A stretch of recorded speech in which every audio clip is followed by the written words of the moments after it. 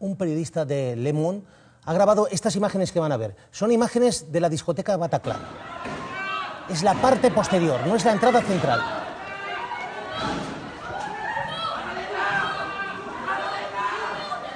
La gente, los asistentes al concierto escapando por la parte de atrás.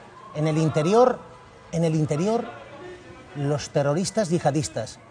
Los supervivientes arrastrando a heridos, amigos y cadáveres. Imágenes que acaba de desvelar el diario Le Monde. Imágenes impresionantes que muestran el terror y la tensión de lo vivido en esa discoteca. 1.500 personas en esa discoteca.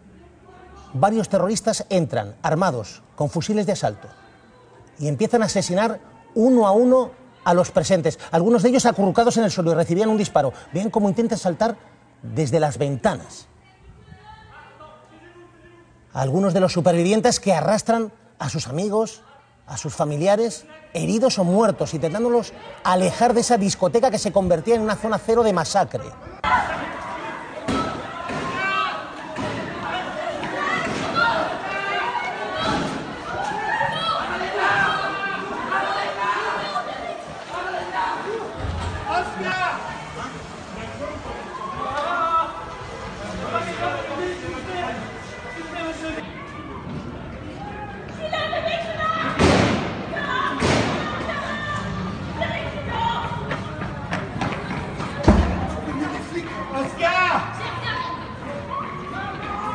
Daniel Sení, periodista de Le Monde, que ha grabado estas tremendas imágenes, la parte posterior.